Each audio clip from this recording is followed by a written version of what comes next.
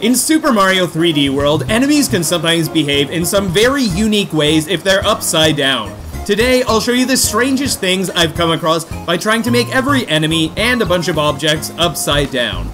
In the intro cutscene for Super Bell Hill, you see the Goombas just flying away. Why did they go up there? Why does gravity work like this? They didn't come back down. Around this part of the pipe, I saw some weird flickering shadows, so I switched to camera mode and tried looking up here. And what are these Goombas doing up here? The look on their face is just like, what, what, do you see something strange? I never thought that I'd see a Goomba here, and this is such a beautiful picture to take in Super Mario 3D World. I'm so glad that the camera feature was added to this game, so we can see great moments like this. This is what game modding was made for, and this is why I created my YouTube channel. Even though the rabbits were set to be upside down in Spotlight, they show up right side up in the actual game, and this is what happens for some enemies. And then, I got to the flagpole. And the more you look at it, the stranger it gets. The yellow tip of the flagpole is at the bottom, the base of the flagpole is up high, and the red Mario flag is at the top. But the M is upside down, so it's now a red W flag. Where are you even supposed to grab the flag? You could let me know in a comment if you'd first try going for the top or the bottom of the flag. I tried walking into the bottom part first because that makes sense to me, this is where you normally grab the flagpole, and usually if you're close enough to the flagpole then it sucks you in, but that didn't work. So I tried diving into the flagpole, but that also didn't work. I thought maybe if I could jump and reach the bottom of the flagpole that I'd get a 10,000 point pole grab, but that wasn't working. When I tried getting closer and jumping, I actually started sliding down the side of the goal pole like it was a wall and Mario was getting ready to do a wall jump. I never thought Mario would slide down the goal flag like that. I wasn't sure if you could grab the flag, so I tried getting it from the top. My angle wasn't great, but I managed to slide along the side of what's normally the base of the goal pole, and that still wasn't a pole grab. I was trying to do a wall jump off the pole and climbing up the tree and jumping to the pole, but all in vain. Eventually, I did a spin jump to the very top part of the flag, Mario poofs to the bottom of the flag, and instead of sliding down the pole, Mario slides up the pole, and he's floating up in the air during the course clear message. In World 1-2, the Koopas are another example of an enemy that would just show up normally even if you put them upside down, but the pipe was looking a little weird. If you crouched, you can get under the pipe, but if you let go of the crouch button, you can't stand up because the pipe blocks you from standing up, and jumping doesn't get you into the pipe either. I went onto the top of the pipe and I was ready to press ZL to get into the pipe. What will it look like when Mario enters a pipe like this? And Mario would just crouch. He can't enter the pipe like this. I was trying to move around, I was crouching repeatedly, but Mario can't enter the top-down pipe when it's rotated around like this. I reloaded the game with the pipe now at a different angle instead of being rotated 180 degrees, hoping that this would work and Mario would be able to get into this pipe. But when I crouch here, Mario just slides down the pipe. I was trying this again when suddenly, Mario goes down the pipe. If you press the ZL button again while you're sliding down, Mario goes into the pipe. His going down the pipe animation is exactly what you'd expect, and the pipe that brings him into the cave is also very normal. Let's have a look at that. Whether the Koopas are said to be upside down or at angles, they appear normally once you load up the game. But the interesting thing about the Goombas is that they appear on the ceiling now, and they walk along the ceiling. They can actually defeat Mario if he walks into them. Ah, it's the famous Bat Goombas in Koopa Troopa Cave, known for hanging upside down and sucking blood out of the victims. I made a green star upside down to see what it would look like, and its rotation was pretty weird to me. And more ceiling Goombas! And the cool thing is, you could actually defeat the ceiling Goombas with your Fire Flower power-up. I was wondering if Mario could defeat a ceiling Goomba by jumping up at it, or jumping up and using ground pounds, but it turns out that the ceiling Goombas are the ones that defeated Mario. I saw a ceiling Goomba in a spot where there were breakable blocks nearby, and I was wondering how the Goomba would behave if we got rid of the blocks above it. Would it float up, or would it just float in the air? And it turns out the Goomba just floats there in the air. Maybe this passage is too narrow and the Goomba can't float up. Mario, being a tourist at the Koopa Troopa cave, had to take a few snapshots of him next to a ceiling Goomba as a memory. It's not every day that you're next to a ceiling Goomba. Even though the first ground pound hurt Mario when he passed by the ceiling Goomba, This second one with Little Mario actually managed to take out the ceiling Goomba. I was surprised to see that the Goomba stack wasn't rotated at all. I tried rotating the Goomba stack in several different ways in Spotlight, but the Goomba stack would always show up as upright when I loaded the actual game. When the Goomba is at a slight angle instead of completely upside down, it ends up starting in the air instead of the ceiling, and every time it jumps up when it notices you, it goes higher and higher until it reaches the ceiling. So, we get to see a young air Goomba grow up into a ceiling Goomba. Ah, they grow up so fast. The last time I saw you, you were only up to here. So let's just take this pipe to the final area. Here we are. Let's head on to this flag. And this time the flag is just rotated, but it isn't raised up vertically. Mario jumps above the plant pot here, and he gets 200 points, instantly teleports below the level, slides somewhere, and the camera pans into the ground, where we can just see Mario's feet at the top of the screen, and we get a course clear message. I never thought I'd be seeing that message from down here. Does anything look wrong with this picture to you? Well, let's slide down this tree. Now, I'm wall sliding down the tree instead of grabbing it. If you jump onto this tree, you can grab it, and you can keep going up past the roots where the tree normally goes. And when you slide down, you can stop on the roots here and stand on it. What a nice platform this is that you could stand on. Some of the movement around the base of the tree is a little weird when it comes to grabbing and jumping off of the tree. The tree that's normally on the left here was rotated vertically, but it wasn't raised up, so that's why we can't see the tree, because right now it is sticking down into the level. This piranha plant just pops out of the ground. That one was at a weird angle, and some of them look strange, but they become normal once you get close to them. I made these cloud platforms upside down, and they work as you might expect. The bottom part is now solid, and you fall through the top part, and that makes climbing up this level a bit more difficult. I made this tower upside down, and I was hoping to get up to the cloud, but my cat swipes that normally bring up this tower weren't working. But then the cat swipes did work, so I just kept swiping, and then I climbed up the tower. And I want you to guess right now, what do you think is going to happen when Mario goes into this cloud? How is this upside down cloud going to shoot Mario when he goes into the cloud? Oh, and look at that piranha plant in the background. And here we go! The cloud gets ready, and it fires Mario up. I actually thought it would shoot us downward, but still bring us to the right area, and it's funny that we go the opposite way of where the cannon is facing, because the cannon is facing down on the cloud right now. When we make it into the cloud part of the level, the dash panels are upside down, these piranha plants start popping out because they're upside down, and this next cloud platform is upside down, so we fall back down to the level. Mario takes on the piranha plant boss, and he can take it out without any problems. I was curious what a sideways goal pole would be like, so let's see. I'm guessing grabbing the yellow part isn't going to work, but let's try it. When I jumped onto the white part of the goal pole, I realized that the flag is up here, and it's rotated sideways. I wanted to do a jump and a dive into where I thought the pole would normally be, and that made Mario grab the pole. He slides across the pole, and then he floats up into the sky with the flag fluttering inside him. What a great course clear this is. Alright, you all know what is coming up next. Here's a sneak peek of Plessie's Plunging Falls before we load up the level. I don't know if this will work because some characters work fine upside down, and other characters just show up normally, so let's see. The level starts, and I am so glad that Plessie is upside down. Let's hop onto Plessie. Oh, we're upright, and we're way up here suddenly. What's going to happen after we close that text box? Wait, why are we running this way?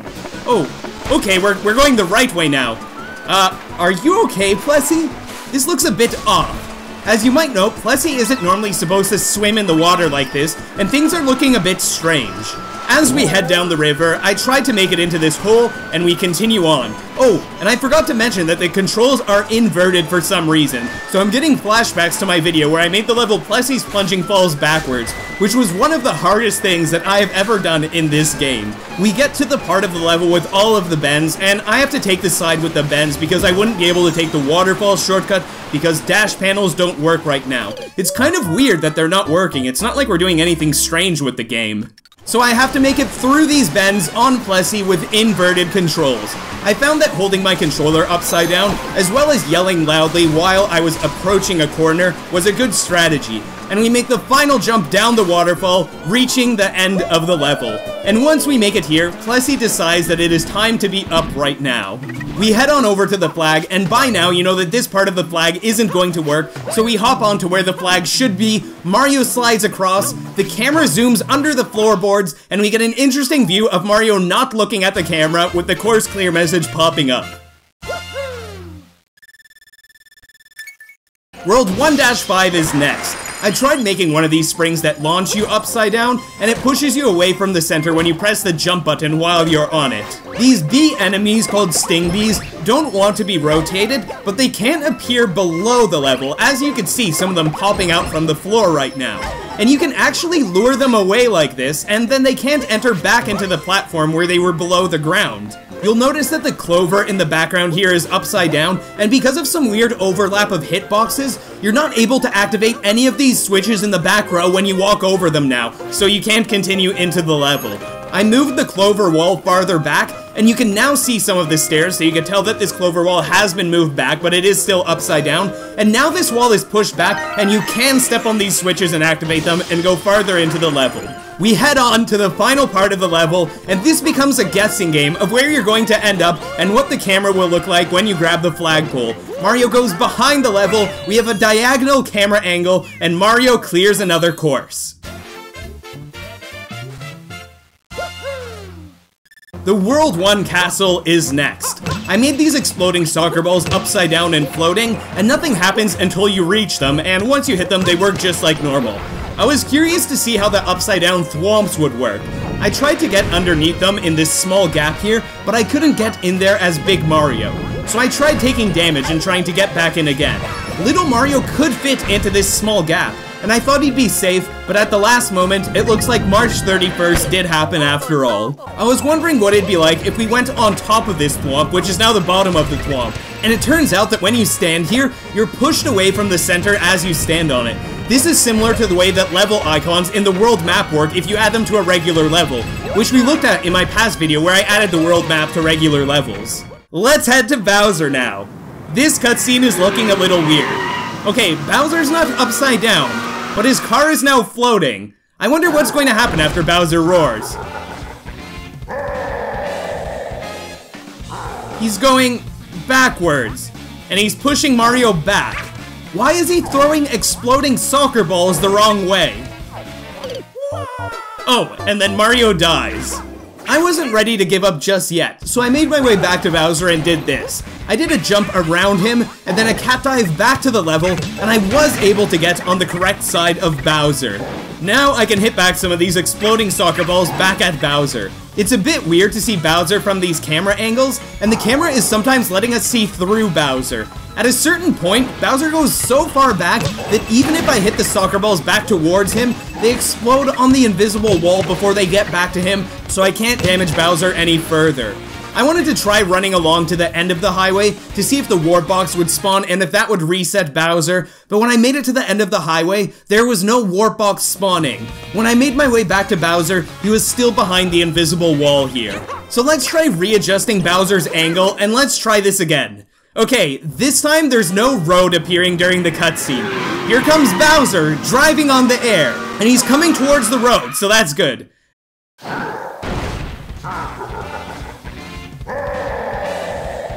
Now he's driving towards me at a weird angle.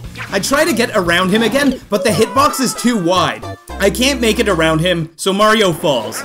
I make my way back to Bowser again. I think it'd be better to go around him on the right side instead of the left side because he's driving towards the left, and this time I'm able to get around Bowser. He's throwing some soccer balls, but because of the weird camera angle, it's really hard to hit them back at Bowser. But after a moment, I am able to get one back at him. We might have a chance at defeating Bowser if he stays around this area and I can keep hitting the soccer balls back at him. But then, he starts to stay here and he's just dumping exploding soccer balls into the ocean. Why are you doing this, Bowser? Why are you throwing exploding soccer balls into the ocean? When I tried to get closer, he ran away, so there was nothing I could do again. Let's try changing Bowser's camera angle, and let's see what happens this time. The camera zooms up, and Bowser is driving towards the Earth like a comet falling from the sky.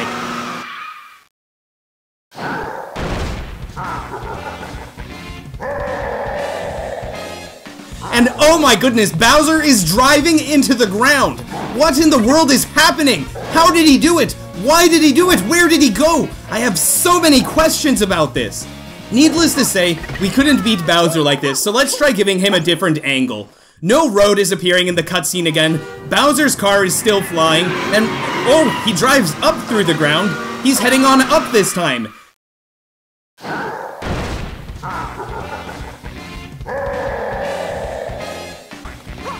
Now we have the opposite problem. Instead of driving into the ground, Bowser is flying away. I was determined to get a strange Bowser angle to work, so I tried turning him around. Bowser is going backwards now, and he's pretty high up, so I'm being careful to not get too close to him. When you go closer to Bowser, he gets faster and faster as he moves away from you, so I'm trying to keep my distance and launch the soccer balls back at him.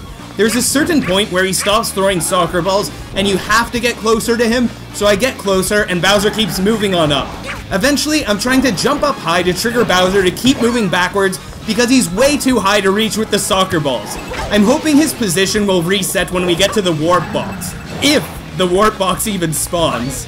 But luckily for us, when we get close to this gap, Bowser is programmed to jump to a certain position, so he comes back down. I've got to be really careful because I'm Little Mario, so one more hit will kill me. I'm avoiding the fire, trying to get the soccer balls back at Bowser, and looking for an opportunity like I'm trying to win the World Cup right now. I get a few more hits on Bowser with the exploding soccer balls, and when we make it to where the Warp Box should be, the Warp Box does spawn. I miss a great opportunity with the soccer ball, and I realize that we're approaching the area where a Goomba has a Super Bell power-up.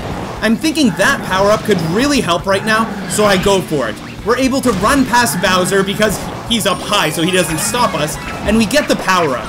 Bowser's hitbox almost pushes us off the level, but we make it back because we have the cat suit. We get in front of him, we launch one soccer ball at him, he launches a few fireballs at us, we're doing well, and he throws one more soccer ball, and we hit it back at Bowser, and Bowser is finally defeated. I head into the final warp box, and we head towards possibly the most interesting flag of all. When you get close to the flag, a cutscene trigger plays, and the camera is partially below the level. You can also notice that the Bowser symbol on the flag is upside down. Walking into the bottom of the flag doesn't work, so I head on up the steps as if we're really jumping to the top of the flag. Mario climbs to the top, he teleports to below the level, and then I just realized that the Sprixie wasn't in the glass jar all along. The glass jar's actually down here. The glass jar shatters, and now the Sprixie must be free somewhere up there we can't see because of the camera, and Mario dances, and the course clear music plays. If you'd be interested in seeing other levels or bosses made upside down, you can click the subscribe button if you'd like to be notified when new videos come out. I'd love to make a follow-up to this video if there's interest in that. A big thank you to my Patreon supporters for supporting the creation of my YouTube content, and a big thank you to you for watching this video. I hope you all have a fantastic day, and take care everybody.